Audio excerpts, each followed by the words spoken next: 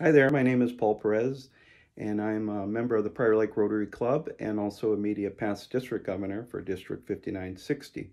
And I wanted to share my four-way test uh, story.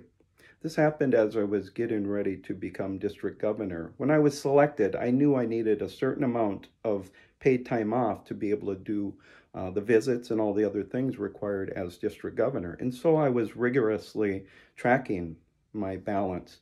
And so when I went to international convention in Hamburg and came back, I was looking at my PTO balance and it was higher than it should have been. So I researched and saw that that Monday when I returned, I had put in vacation time for eight hours for that day. And then somehow that got canceled. And so my, my balance was higher than it should have been. So I immediately alerted the payroll manager and also copied my supervisor to let them know of the discrepancy, and it was corrected. But it's really those times uh, when we do the right thing when people aren't watching that's more important than when people are watching. Uh, and it reminds me of a, a quote by Martin Luther King Jr. The time is always right to do what is right. And that's my four way test story.